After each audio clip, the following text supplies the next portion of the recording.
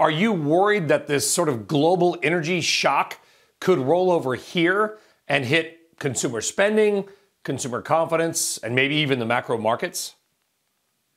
Well, I think what's going to happen here, Brian, is I actually think it's more of a virtuous circle right now because you got to remember the consumer in the US is in great shape. The balance sheet right now, I mean, look at American households, they have $2 trillion more on their balance sheet than they did before the pandemic. Compliments of the government printing money. Thank you, Uncle Sam.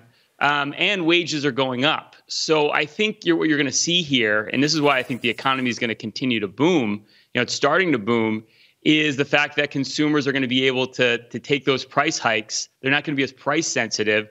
So, you know, you're going to be able to see companies increase their, you know, their prices and you're going to see the consumer be able to take it. And that is inflationary, but at the same time, you know, you've got a very, very strong consumer here. And I think that's that's all going to work out for the foreseeable future.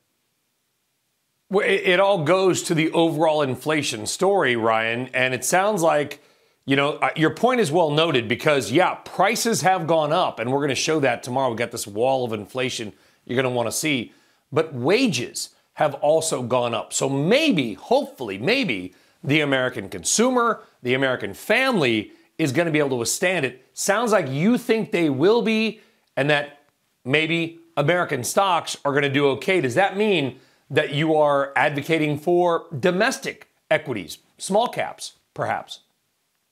I mean, anything cyclical. And I was on your show you know, back in the summer of uh, August of last year. You know, oil was was trading at like 30 40 dollars a barrel, um, and you know at that point we were talking about that cyclical trade.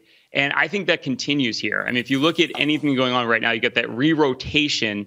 We've kind of had a reset, right? We had maybe it was around like March, we start to see technology stocks outperform again, and then all of a sudden, once the Fed stopped talking about transitory inflation two weeks ago, all of a sudden you blink 10 year treasury now is up to 1.5%. You've got oil prices skyrocketing. You've got everyone talking about inflation again, and you're seeing money funnel back into small caps, like you just mentioned. Cyclical stocks in general are starting to outperform, while tech here is starting to get hammered. And I think that's the longer term trend, right? We had tech was a very, uh, we'll say, like disinflationary trade that you had for a decade. Now we're in a re- reinflationary trade, and that's going to last a long time because not just the US, we know, printing all this money it's a global phenomenon, and you're going to see tightening happening around the world. You know, England's already mentioned that they're going to start doing it. Other central banks around the world are mentioning yeah. the same thing. So, you know, we're, we're in that what I would call inflationary period now. You've got to reposition your portfolio for that.